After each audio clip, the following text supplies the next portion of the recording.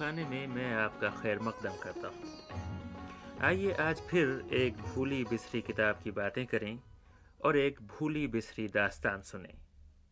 एक सदी पुरानी जो किताब आज इस वक्त हमारे हाथों में है, उसका नाम है मसनवी आबिद। और इस मसनवी आबिद को इलाहाबाद की अदालत दीवानी के अमीन मोहम्मद अब्दुल्ला खान ने अंग्रेज़ी से उर्दू में तर्जुमा किया था। ये तर्जुमा इतना उम्दा था कि इसे उस वक्त के लेफ्टिनेंट गवर्नर विलियम म्योर ने सुना तो मोहम्मद अब्दुल्ला खां को एक सौ रुपये इनाम दिया और मसनवी आबिद को इलाहाबाद के सरकारी छापेखाने में छापने का हुक्म दिया। ये तकरीबन 110 साल पुरानी बात है। ये मसनवी आबिद आयरलैंड के शायर टॉमस पार्नल की मशहूर तवील नज़म हरमिट का मंजूम तर्जुमा है। पार्नल 18वीं सदी के शुरू के शायर हैं। वो स्विफ्ट के दोस्त, एडिसन के मुआविन और पोप जैसे शायर के शागिर्द थे।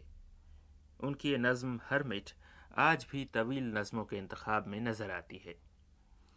इस नज़म में एक नहायत नेक और पारसा शख्स की दास्तान है, जिसे एक रोज़ शैतान ने बहकाया तो उसके जहन में ये सवाल उभरा कि ज़माने के बुरे लोग तो खुशहाल हैं, और जो नेक हैं, वो मुसीबतों में क्यों गिरफ़्तार हैं? आखिर उस शख्स ने इस सवाल का जवाब तलाश करने की ठानी और अपने गाँव से निकल खड़ा हुआ।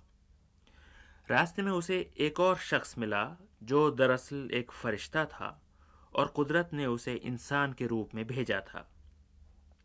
अब ये दोनों राह में कई लोगों के मेहमान हुए और बिलाखिर फरिश्ते ने यह साबित कर दिखाया कि जो लोग मुसीबत में गिरफ़्तार होते हैं, देखने में वो कितने ही नेक हों, लेकिन उनके दिल में कहीं ना कहीं कुछ ना कुछ खोट ज़रूर होता है। इस नज़म में इसके अलावा उन्होंने क्या कहा है? और मोहम्मद अब्दुल्ला खान ने 110 साल पहले इसका कैसा तर्जुमा किया था? इसके लिए किसी मज़ीद तमहीद की ज़रूरत नहीं क्योंकि हम आपको इस नज़म का बड़ा हिस्सा इस वक्त पढ़कर सुना रहे हैं। लीजिए सुनिए, मसनवी आबिद। दूर चश्मे खल्क से हक से करी, था किसी सहरा में एक आबिद मकी हासिल उसको जब से था सिन्न शूर अहले दुनिया से रहा करता था दूर। इब्तदा से था इबादत, उसका काम चाहता था जीत हो यूँ ही तमाम। यूँ किया करता था वो अपनी गुज़र, था बिचौना काह का और कोह घर। थे समर सहरा के सिर्फ़ उसकी गज़ा, वास्ते पानी के चश्मा कोह का। इस तरह वो खल्क से रह कर जुदा, काटता अवकात अपनी बाखुदा। वो इबादत से फ़कत रखता था काम। हमद खालिक उसकी थी फ़रहत तमाम। फिर से दुनिया मिल गई थी खाक में, था तकदस उसकी ज़ात पाक में। यूँ बसर करता रहा वो जी शूर जैसे जन्नत में मलाइक गम से दूर। वस वसे से आखिरत शैतान के एक खदशा दिल में ठहरा आन के। बद ज़माने के तो हैं फरखुंदा हाल। नेक बख्तों के लिए क्यों है जवाल? कर चला इस वहम की जब जस्तजू, अदल बारी में हुई कुछ गुफ्तगु। दिल में जब पहुँची हवाए रायगा गुलशन उम्मीद में आई खजा। दिल का इस्तकलाल उसके खो गया, और एक सोई में झगड़ा हो गया। जिस तरह दरियाए साकिन में यहाँ, अक्से मौजूदात होता है अया। हो कनारा या कनारे के दरख्त, सब नज़र आते हैं साकिन एक लख्त। आसमां की जितनी हैं नरंगियाँ, साफ़ हो जाती हैं पानी में अया। हाँ जो पत्थर मारिए उस आब में, अक्स पड़ जाता है फिर गर्दाब में। फिर जो हों उस आब से मौजें रवां, अक्स के टुकड़े भी होते हैं दवा। देखा उसने दिल को जब होते ख़राब चारा जुई के लिए उसकी शिताब, घर से अपने चल दिया वक्त सहर। कुछ मुहैया करके सामान सफ़र। राह में कुछ थी ना उसको फ़िक्र और। हाँ मगर हर बात में करता था गौर ताकि अपनी आँख से दुनिया का हाल देख कर समझे वो सब की कील काल, जिससे फिर वो बात भी हो जाए साफ़। पढ़ रहा था जी में जिसका इख्तलाफ। जब हुआ वो सुए आबादी रवां, राह में उसको मिला एक नौजवान। एक कबाए नूर थी जेब बदन रंग गोरा और गेसू पुरशिकन। आ करीब आबिद को वो कहने लगा, अस्सलाम आए रह रवे राय खुदा। दर जवाब उसके ये आबिद ने कहा, मरहबा फर्जंद मेरे, मरहबा। जब हुए आपस में गर्म गुफ्तगु, आबिद पीर और जवान खूबरू, फ़र्क था सूरत में गरचे मुँह बमू एक थे सीरत में दोनों नेक खू। हो गया दोनों में ऐसा इत्तेफाक, थी दुआ उनकी न हो यारब फिराक। चलते चलते पहुँचे एक जा वक्त शाम, दिल लगी में कट गया रास्ता तमाम। महर गर्क़ बहर मगरब हो गया रात आई ओढ़ कर काली रदा। रफ्ता रफ्ता जबकि आया वक्त ख्वाब, रुख से उल्टा माह कामिल ने नकाब। तय हुई किस्मत की जो थी सख्तियाँ, राह में उनको मिला तब एक मकान। साहिब खाना मुसाफिर दोस्त था। था घर उसका दायमा मेहमा सरा, पर उसे नामावरी की थी तलब, इसलिए मेहमा नवाजी थी ये सब। अलगरस पहुँचे ये दोनों उसके घर, नौकर उसके बाँध कर आए कमर, और इस्तकबाल मालिक ने किया। आके दरवाजे पर खुद उनको लिया। मच मचाने फिर लगी मेज़ें तमाम। इस कदर उन पर हुआ बारे तो आम, पर यह सब था बुल फजूली का ख्याल, था ज़रूरत से ज़्यादा सारा माल। जबकि इकलो शुर्ब से फारिग हुए, इस तरहत के इरादे हो गए। पाए बिस्तर जाके जो नरमो लतीफ़, खूब गाफिल सोए ये दोनों शरीफ। रात गुजरी, सुबह का तड़का हुआ आई नहरों पर से फिर बादे सबा, और जगाने के लिए आई नसीम, बादल बशाश पालुत्फ अमीम। खड़खड़ाना जबकि पत्तों का सुना, नींद से जागे वो मर्दान खुदा। फिर तहारत करके पाकिजा गहर, जब इबादत कर चुके वक्त सहर, नौकरों ने दस्त बस्ता आके तब, अर्ज़ की खिदमत पे उनकी बादब हुक्म है आका के जल्दी आइए, माहजर हाजिर है आकर खाइए। अलगरज वो दोनों मेहमान शरीफ, नोश जहाँ करने लगे खाने लतीफ़। वहाँ शराब अरगवानी से भरा एक सोने का प्याला था धरा। मेहमानों को पिलाई वो शराब, साहिब खाना ने बा नुकलो कबाब। साहिब खाना को पाकर मेहरबान, जब हुए फारिग वो दोनों मेहमा, खुश हुए, राज़ी बाहर सूरत हुए, शुक्र नेमत का किया रुखसत हुए। साहिब खाना को एक पहुँचा गजंद, कर नहीं सकते जिसे आकिल पसंद।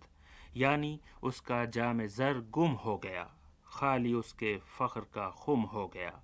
नौजवान ने उस प्याले को चुरा, जेब पैराहन में अपने धर लिया। राह में सूझी फिर अयार को, जाम ज़र दिखलाया अपने यार को। देख कर जाते रहे उसके हवास, और दिल पर छा गया अब्रे हरास फलत हैरत से खड़ा था पाबा गिल कांपता था खौफ से सीने में दिल, जैसे कोई देख के एक अशदहा खौफ से हो जाए रस्ते में खड़ा। एक अरसे तक रहे पाबंद बीम भागे फिर उस जा से बाहाल सकीम। इस तरह आबिद ने बाहाल तबाह ली वहाँ से मंजिल मकसद की राह। चाहता था ये कि हो उससे जुदा, डर के मारे मुँह से कह सकता ना था। दिल में नाखुश हो के सूए आसमां देखता था और ये कहता था कि हाँ कैसा दुनिया का ये उल्टा काम है। नेक का कैसा बुरा अंजाम है। नागहां पैदा हुई काली घटा। महरे आलम ताब जिससे छुप गया। सनसनाहट ने हवा की दी खबर। अब्र बारह आ गया बालाए सर। जानवर जंगल के भागे सब वहीं। जा छुपे कोई कहीं कोई कहीं। खौफ से बारिश किए दोनों भी अब। एक मका पर पहुँचे हो साया तलब। था बहुत मज़बूत मुस्तहकम वो घर। थी बिना उसकी बड़े एक टीले पर। गिरद उसके पर बड़ा बीराना था। बायस उसका बुखरे साहब खाना था। पहुँचे ड्योढ़ी पर जो ये उस शूम की रात ने नौबत बजाई धूम की। था हवाए तुंद का एक सिमत ज़ोर, एक जाने बरकबारा का था शोर। हो परेशान दोनों अब्रोबाद से आ पुकारे उसके घर फरियाद से। और दरवाजे भी ठोंके बार बार कौन सुनता था मगर उनकी पुकार। साहिब खाना था मुमसिक इस कदर, सूरत कारू थी उसको हुब ज़र। कुछ मगर तासीर जो दिल में हुई, इब्तदान एक नई बात उसने की। बेदिली से उनका रहबर हो गया, खोल कर एक दर को शश्तर हो गया। ये इशारा उससे था, खैर आइए, खून रोटी का मेरी कर जाइए। लकड़ियाँ कुछ दी जलाने को उन्हें रफाता सर्दी को वो अपनी करें। और रूखी सूखी फीकी रोटियाँ दे के बोला, बस ये हाजिर हैं यहाँ। थी जो उसके घर में नाकिस और ख़राब, दी उन्हें पीने को उसने वो शराब। फिर जो ही तूफ़ान कम होने लगा, उन गरीबों को दिया उसने भगा। दिल से की आबिद ने फिर ये कालोकील इतनी दौलत पा के ये क्यों है बखील? बंद कर रखा है इसने क्यों ये माल? वास्ते जिसके हैं लाखों ही सवाल। था इसी शशपंज में आबिद वहाँ। तुरफा गुल एक और फूला नागहा। वक्त आया जब के रुखसत होने का। नौजवान ने वो पियाला सोने का। दे दिया उस शूम को इनाम में। खाक पड़ियो उसके ऐसे काम में। साहिब लुत्फ़ो करम से तो लिया और एक नापाक मुमसिक को दिया।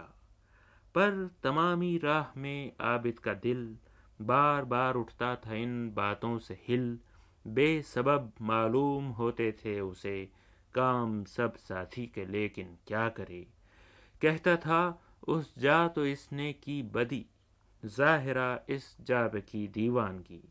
देख कर इस तरह की नैरंगियाँ अक्ल हैरा हो गई आबिद की वाँ। चरख ने फिर ओढ़ी अब चादर सिया, तीरा फिर आलम हुआ जेर निगाह। फिर कहा दोनों ने अब इस बात को, घर किसी के चल के सोवें रात को। अलगरज इन लोगों को एक घर करीब हो गया तकदीर से जल्दी नसीब। गिरद उसके थी ज़मीन खुशगवार, वो मकान था पुरसफ़ा और उस्तवार। साहिब खाना भी उसका खूब था, बायस जूदो सखा महबूब था, पर न था उसका करम बहरे रया। फैज़ जारी थे बराए किबरिया। पहुँचे उस जा ये मुसाफिर थक के जब देखा मालिक को बजा लाए अदब।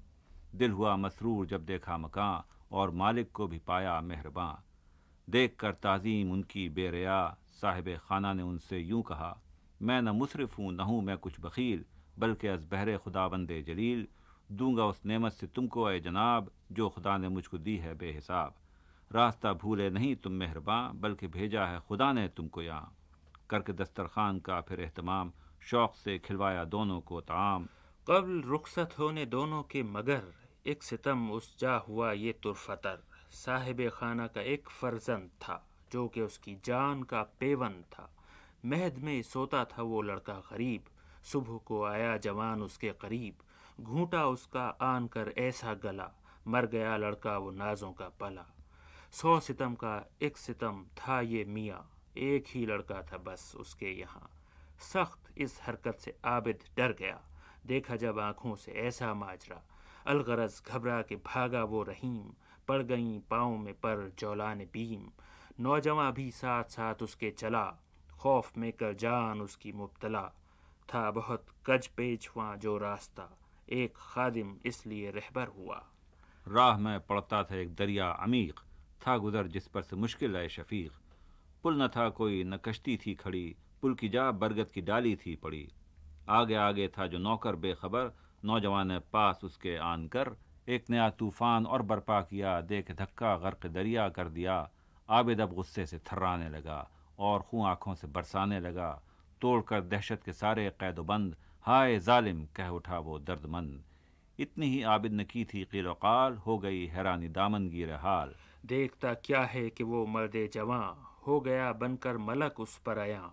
नूर चेहरा पहले ही था मुश्तिल हो गया अब और भी महबूब दिल। नूर अफशा हो गई पोशाक सब, जिससे पैदा हो गया लुत्फ़ अजब। पर भी बाजू पर हुए फ़ौरन आया और दिखाई तुरफतर नैरंगियाँ। फलते हैरत से वो साकित हो गया। होश उसका सारा गोया खो गया। और जब देखे फरिश्ते के ये काम, हो गई गुम कुत नुतको कलाम। पहले आप ही आखरश बोला मलक, रहिएगा खामोश हज़रत कब तलक? जोहद तकवा और सना खानी तेरी और ममनुआत से रहना बरी। सब है मकबूल खुदाए जुलजलाल और हम लोगों पे भी रोशन है हाल। पर तेरे ख़तरे की करने को दवा, आसमां से हूँ मैं उतरा आबिदा। अब खुदा की हमतें सब जान तू। ख़तरा जो आवे उसे मत मान तू। खालिक व मालिक है वो दारैन का। फेल जितने उसके हैं सब हैं बजा। आप ही करता है जो कुछ करता है। आदमी के सर बहाना धरता है। सब सिफात उसकी का यूँ ही है ज़हूर। जानना इस बात का है पर ज़रूर। तूने बातें देखी हैं जो कुछ अभी। कौन सी इनसे अजबतर हो गई? देख कर उसको बस अब तू जान ले और कहने को हमारे मान ले। अदल खालिक में न कर कुछ गुफ्तगु। वह में बेहुदा की छोड़ अब जुस्तजू। जो न समझे, जान तेरा है कसूर। है मगर इस बात में नुकता ज़रूर। वो जो पहला शख्स था बाकर रफर, खुश गज़ाई पर जो करता था गुज़र, था हकीकत में अगरचे मालदार, लायक नफरी था उसका कारोबार। जिस तरफ़ करता था उसके घर नज़र, देखता था तू ज़रूफ़ सीम ज़र। मेहमानों के तई वक्त सहर, मैं पिलाता था, वो सौ सौ इज्ज कर। सात सागर के सब उसका तमतराक, हो गया अब कलम बालाए ताक है अगरचे अब भी वो मेहमान नवाज़ काम अब करता है बासिको न्याज। और था वो जो बखील नाबकार और न रखता था वो मेहमानों को यार, उसको मैंने वो प्याला दे दिया ताकि वो इस बात को समझे ज़रा। यानी गर बंदों पे मैं हूँगा शफीक, रहमत हक मेरी भी होगी रफ़ीक। दिल में कहता है कि मैं हरगिज़ न था, लायक से नाम के जो मिल गया। इस सबब से दिल अब उसका नर्म है, दोस्ती में खल्क की सरगर्म है। शख्स सालिस का ये सुन ले अब तो हाल था वो शैदाए खुदाए जुलजलाल। लेकिन अब जिस वक्त से अय खुशसाल उसके घर पैदा हुआ था नौनिहाल। फिर गया था कुछ खुदा से उसका दिल, इश्क सूरत में हुआ था मुश्तगिल। उम्र भर की उसकी मेहनत बेगुमा, इस तरह हो जाती बिल्कुल रायगा। हक ने ले ली जान तिफले दिल पसंद, उसके ईमा पर न पहुँचे ता गजन। खैर इतने ही पे थी जो हो गया, आगे सुनिए दूसरा एक माजरा। गर न देता उसके नौकर को मैं डाल गर तहे दरिया तो लाता वो जवाल। ठान रखा उसने अपने दिल में था, लीजिए दौलत यहाँ की सब चुरा। होता गर सरजद ये कारे नापसंद, फैज़ का दरवाज़ा फिर हो जाता बंद। अलगरज मैंने ये सब तफहीम की, जाइए बस आपकी तालीम की। अब खुदा के कारखाने में कभी शक न लाना जब तलक है जी में जी। इस तरह कहकर वो सूए आसमां, हो गया पर खोल कर जल्दी रवा। और आबिद आसमां तकता रहा। वो फरिश्ता आँख से गायब हुआ।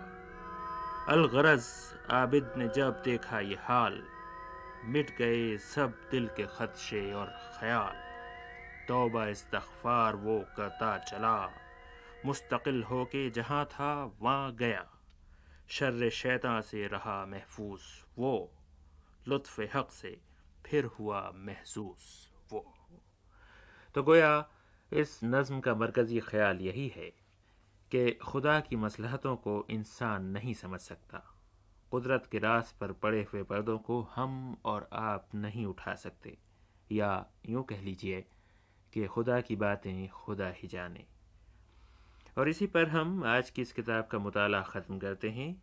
आपको एक बार फिर याद दिला दें कि ये आयरलैंड के शायर पार्नल की मशहूर नज़म हरमिट का तर्जुमा था। और ये तर्जुमा इलाहाबाद के मोहम्मद अब्दुल्ला ख़ान ने किया था। और मसनवी आबिद के नाम से ये नज़म 110 साल पहले वहीं इलाहाबाद में छपी थी। आज के इस प्रोग्राम में शरीक मुताला थे यावर अब्बास। अगली इतवार की सुबह इन आपको एक और दिलचस्प दास्तान सुनाएँगे। अब रज़ा अली आबदी को इजाज़त दीजिए। खुदा हाफिज़।